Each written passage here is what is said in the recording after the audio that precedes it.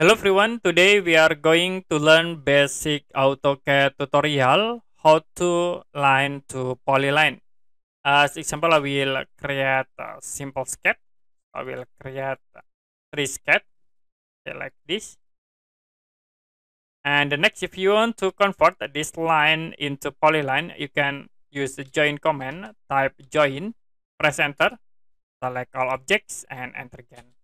I will use again in this object you can type join press enter select all lines and enter again. The other option you also can use uh, boundary commands in closing object. You can tap bo press enter to be sure for boundary creations. And in here you can set into polyline.